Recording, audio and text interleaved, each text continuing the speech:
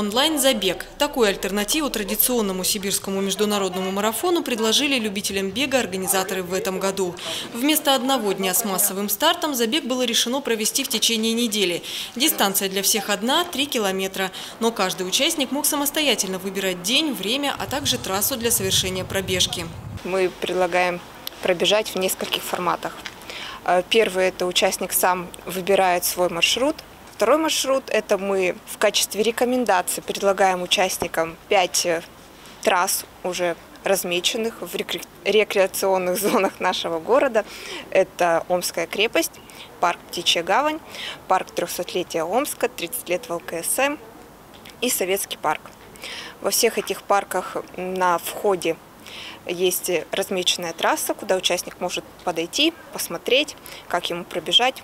Многие участники онлайн-забега выбрали трассу вдоль набережной Иртыша со стартом и финишем у Тобольских ворот. Место традиционное для сибирского международного марафона.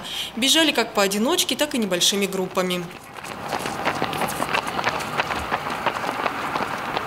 Мы бежали своей командой от школы бега спортивного Омска. Мы бежали больше в удовольствие для того, чтобы, скажем так, пробежать все вместе, получить все равно какую-то долю эмоций, пусть не многочисленной, но хотя бы большой кома небольшой командой. Вот. э, По времени мы задачи не ставили, мы ставили задачу просто пробежать. Конечно, сам забег проходил в офлайне. Онлайн только регистрация и результаты.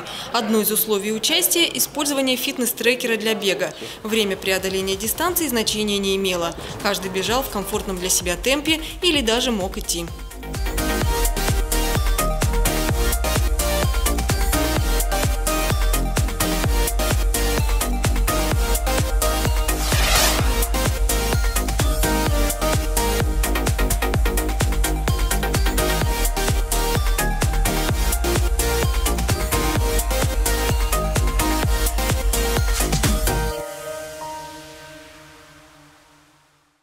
Почему решили принять участие в забеге?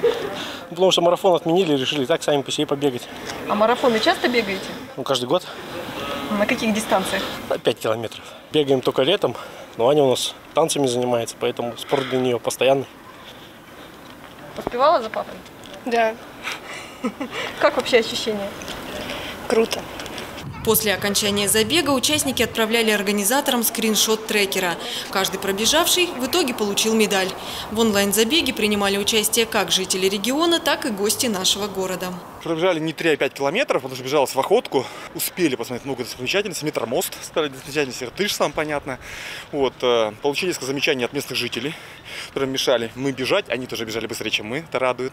Так что все супер. Некоторые известные российские и иностранные марафонцы также поддержали забег дистанционно. Свои призывы не оставаться в стороне от бегового события они выкладывали в соцсети. Уважаемые участники Омского марафона, передаю всем большой-большой привет.